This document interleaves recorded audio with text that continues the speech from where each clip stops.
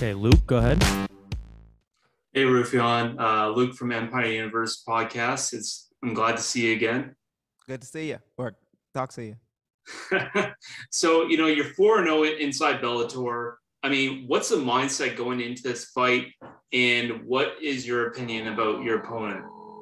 Um, my mindset has been the same kind of uh, since I got here. Confident, fearless, and all I do. I'm coming out to dominate, excite, and finish fights.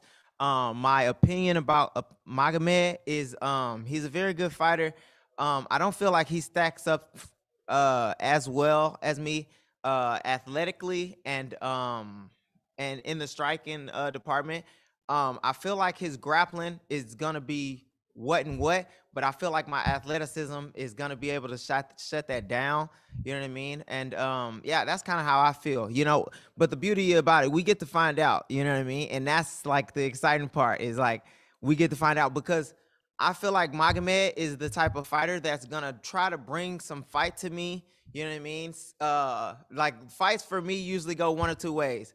Uh, usually they bring they, they bring the fight to me because they don't think I'm who I say I am, and um, the fight ends early, or they just try to hang on and try to, uh, you know, uh, manage losing. You know what I mean? So, and and then I dominate and win. So, uh, hopefully he brings the fight so I can finish him early.